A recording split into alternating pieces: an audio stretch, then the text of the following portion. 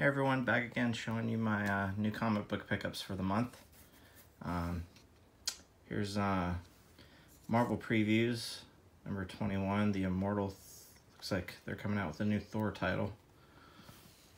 Then we got DC Connect, number 20, 37? 37. And we got X23, Deadly Regenesis, number 3. Venom Lethal Protector 2, number 3.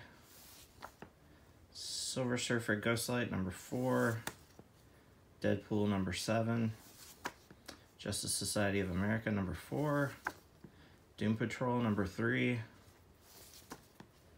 Adventures of Superman Jon Kent, number 4. Daredevil, number 12. Fantastic Four, number 8. Nice Alex Ross cover. Um, Star Wars number 35, Rogue and Gambit number 4, Darth Vader number 35, um, Venom Lethal Protector 2 number 4, X23 Deadly Regenesis number 4, there's a facsimile of Amazing Spider-Man 121. I can't remember whether that's what the significance of that is. Something to do with Gwen Stacy, I think. Action Comics 1055. Superman Lost number 4. The Flash number 800. Power Girl Special number 1. Love that cover.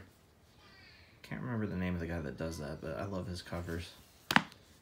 Then Invincible Iron Man number 1 facsimile.